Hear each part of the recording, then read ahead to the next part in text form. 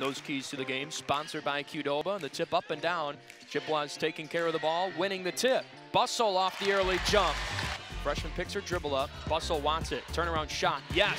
Last Eastern Michigan win came back on senior day in 2015. Kelly intercepts the pass. Davis inside out. Bird launches. Yes. Chippewas lob it to Bussell inside. Shot is good.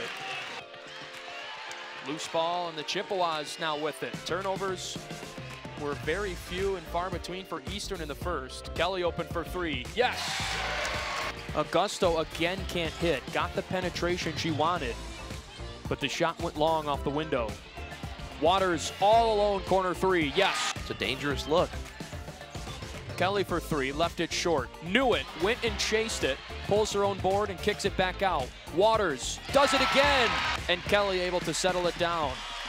Chippewas running, little three on three action the other way. Nice pass to Bird, and she finishes. Eastern outscored us in the paint the first time around. Smith sails it out. Waters catch and shoot triple. Yes! Nice dish. Blocked inside from Bird. Kelly will launch. Got it! That high. A lot of times, too, it's the feet are set, but drifting that shoulder. Davis will launch. Got it. This defense getting hand in her face. Kelly step back. Yes!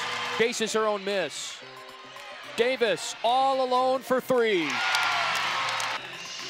Heather Oesterle going to give her seniors a curtain call.